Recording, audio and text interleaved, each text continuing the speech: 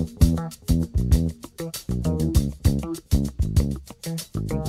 morning, HFA Nation. We're broadcasting out live from the secret location of HFA Studios. Today is Monday, April 27th.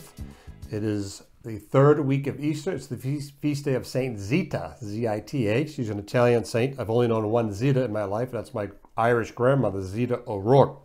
It is also the birthday of Isaac Dombey. If we were at a school assembly, we would have a school-wide singing of happy birthday, but we'll dispense with that during coffee with the head of school. We have sign number 52 that you might have quarantine fever. Desperate for social interaction, you glue a coffee cup to the roof of your car so that when you are stopped at red lights, people next to you will wave and point. Give that one a try today.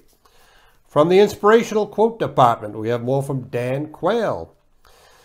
I believe we are on an irreversible trend toward more freedom and democracy, but that could change. From our actual inspirational quotes department, I recommend a book here for our parents. It's called Man's Search for Meaning. This book is in our program of studies at Holy Family Academy. The juniors and seniors read it this year in the Great Books class. It's written by Viktor Frankl, who was a psychiatric doctor in Vienna before World War II, and then he's Jewish. He was uh, taken into Auschwitz, survived, and wrote this book. So this is someone who's been through the worst that life has to offer and uh, is one of the winners who came out the other side. So we want to listen to these people. Just two sentences here.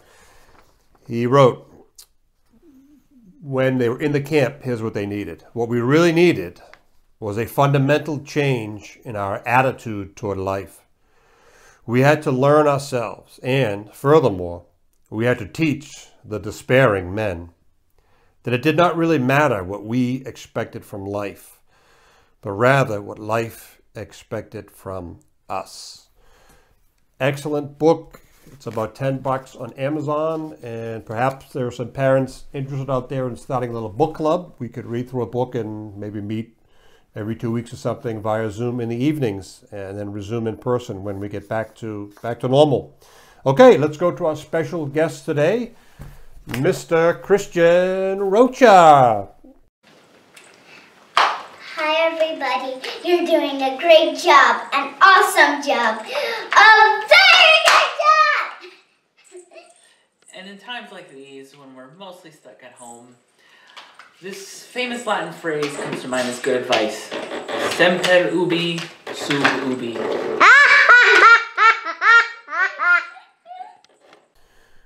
Well, thank you very much, Mr. Rocher, and your lovely assistant. That's one of the most uh, used Latin quotes of all time, so we appreciate that. Mr. Rocher is our high school Latin teacher, 9th, 10th, and 11th grade, and you'll see Mr. Rocher later in the week uh, congratulating the HFA students who won National Latin Awards, and he will be delivering that address in Latin, so stay tuned for that. Okay, let's have our spiritual breakfast. In the name of the Father, and of the Son, and of the Holy Spirit, amen.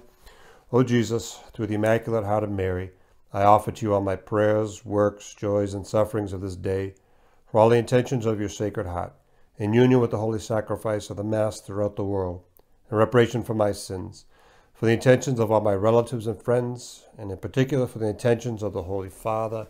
Amen. Father, Son, Holy Spirit. Amen. I'd like to thank the Maloney family who led the HFA Nation Rosary last Friday at 1140. We're looking for another family to lead the Rosary this Friday via Zoom, and that's 1140. And I know people, students have been on the screen all morning, and what you want to do is get away from the screen. You don't have to be looking at the screen during Rosary, and it's 15 minutes, so hopefully we'll be able to get together on Friday. Okay, let's see what we have from the Keep Your Spirits Up department. Let's go to the mystery box. Okay. Okay, we have the answer to last week's riddle, the light bulb riddle. Very quickly, in case you haven't seen it, you have a room with two stories. On the first floor, you have a light switch panel with three light switches. One of those switches controls the one light bulb upstairs. Your task is to do whatever you want to do with the light switches, and then you go upstairs to examine, and you have to determine with a pretty much 100% uh, fail-proof method, which switch controls the light? Two of the switches are dummy lights. The answer is, here's what you do. You take the three switches. You take the first switch, you flip it on, you leave it on for five minutes. Turn it off. Take the middle switch, put it on. Go upstairs to investigate. Now you go in. Now, if the light bulb is on, you know it's switch number two. If the light bulb is off, but hot or warm, it's light switch number one. If it's off and it's cold, it's light switch number three. And we have to once again acknowledge dominating the riddle contest, the Dillon family. So they nailed that one. So do a great job to the Dillon family. Congratulations. All right, my friends, you know the drill. Keep praying, keep smiling, wash your hands, cover your cough, love your neighbors, but don't touch them.